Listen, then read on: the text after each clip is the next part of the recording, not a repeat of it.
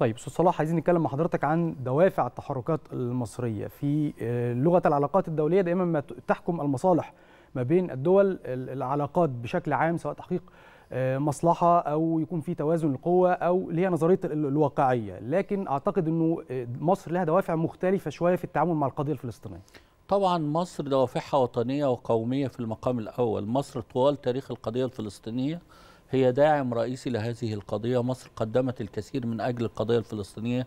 بدءا بحرب 48 وانتهاء بما يحدث الآن مرورا بالحروب التي خاضتها مصر كانت يعني في القلب منها القضية الفلسطينية بطبيعة الحال الحروب التي خاضتها مصر قدمت في سبيل هذه الحروب حوالي 120 ألف شهيد معظمها لم تكن مصر طرفا رئيسيا لكن. أجبرت على دخول هذه المعارك لأنه بالفعل كانت الظروف التاريخية في ذلك الوقت ظروف حاكمة أعتقد أنه الآن ظهر للعالم وظهر لجميع دول المنطقة بأن مصر أجندتها وطنية وأجندتها قومية في المقام الأول وأنه أمن المنطقة جزء من الأمن القومي المصري بما فيها القضية الفلسطينية. مصر عندما تحركت وعندما تتحرك لا تتحرك أبدا من منطلق مصلحة ذاتية أو مصلحة تهمها في المقام الأول هي الآن تتحرك من أجل صالح الشعب الفلسطيني. حتى عندما يعني خاض الرئيس الراحل أنور السادات مباحثات كامب ديفيد كانت مباحثات مينا هاوس لو حضرتك تذكر كان جزءا منها القضية الفلسطينية ووضع علم فلسطين في مينا هاوس لكن الوفد الفلسطيني في ذلك الوقت لم يأتي ولم يحضر هذه المفاوضات.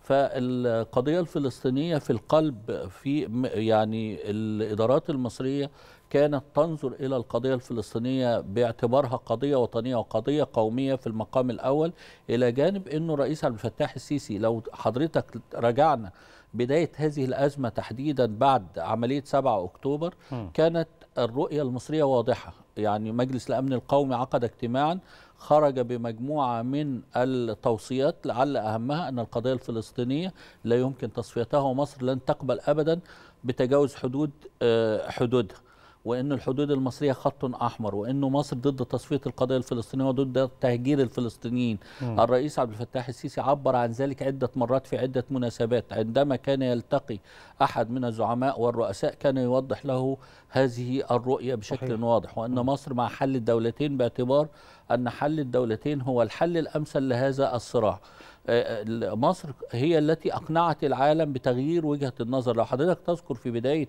الأحداث كان الحديث عن ممرات آمنة لخروج الفلسطينيين من قطاع غزة م. مصر تصدت لهذا المخطط لأنه كان بالفعل مخطط خبيث يستهدف تصفية القضية الفلسطينية ويستهدف القطاع. تهجير الفلسطينيين خارج قطاع غزة م. على حساب مصر وعلى حساب الأردن فمصر تصدت لهذا المخطط ورفضته تماما وبالفعل تغيرت نظرة العالم ورؤية العالمية أصبحت الآن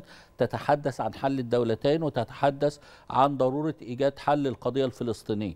هذه الرؤية المصرية انطلقت من قناعة مصر وضرورة أن يتم حل هذا الصراع على أسس سليمة وعلى أسس يعني يتم من خلالها تفعيل مقررات الشرعية الدولية وقرارات مجلس الأمن الدولي.